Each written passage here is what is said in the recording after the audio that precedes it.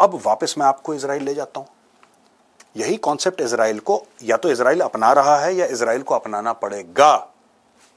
Israel के पास और कोई चारा नहीं है, आपको फिर से ज़मीन घेरनी पड़ेगी और जो आपने गलत काम करे थे पहले ज़मीन छोड़ने की, उसको जो भी प्राइस आपको देना पड़े, जो भी करना पड़े, गाजा वाजा सब लेके खत्म करो। क्योंकि ये रुकेंगे नहीं, ये अटैक करते रहेंगे आपके ऊपर। ठीक है? अब दूसरा, एक तो ये चैप्टर हो गया दोस्तों, दूसरा चैप्टर क्या है? दूसरा चैप्टर ये है कि अमेरिका और रशियन फोर्सेस के बीच में तनातनी हो गई और मेजर डिप्लॉयमेंट हो गया रॉकेट्स वॉकेट सब उन्होंने लगा दिए। क्यों? अब मैं आपको बताता हूँ। अब दोस्तों स्टोरी इस प्रकार से है कि अगर आप इस मैप को देखें तो ये रशिया का छोर है ये वाला। ठीक है? ये एक छोर है, रशिया का। दिस द एंड राइट आप इसको ध्यान से देखिए। करेक्ट अब पूरी दुनिया का सफ़र कीजिए।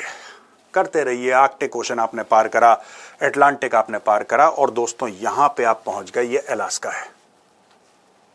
ये जो अलास्का है, ये एक जमाने में रूस का हिस्सा हुआ करता था और रूस ने इसको अमेरिका को बेच दिया, कौड़ियों के दाम बेच दिया।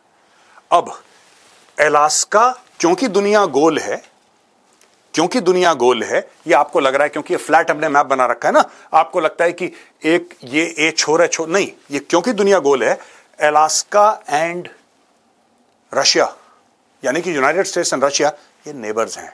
और डियोमिड आइलैंड्स हैं बीच में, डियोमिड आइलैंड्स कुछ पड़ते हैं रूस में, कुछ पड़ते हैं अमेरिका में, और दोस्तों, इनमें यह कहा जाता है कि इनमें जो फ़र्क है, ये जो बीच में समुंदर पड़ता है ना इनके ड्यूमिड आइलैंड्स के समुंदर जो पड़ता है, वो समुंदर जब विंटर्स में फ्रीज हो जाता है तो आप पैदल चल के अमेरिका से रूस जा सकते हैं।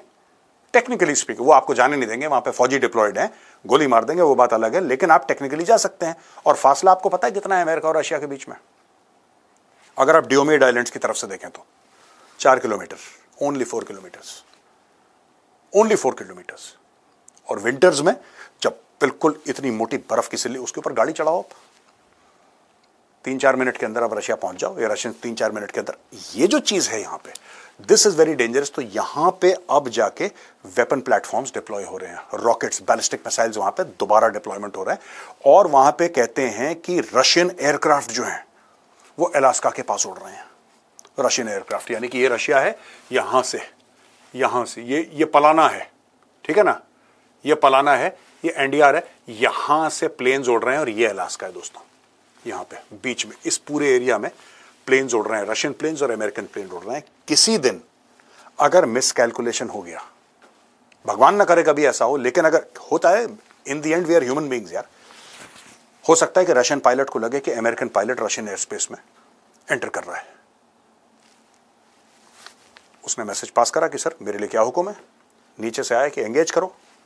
बटन दबाया गुड नाइट फिर अमेरिकन क्या रिस्पॉन्ड नहीं करेंगे?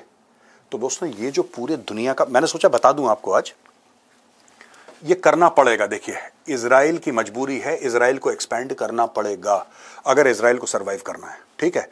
लेकिन सबसे बड़ी बात है, ये जो अलास्का और रशिया वाला मामला है, इसको भी डी एस्केलेट करने की बहुत बहुत आवश्यकता है दोस्तों।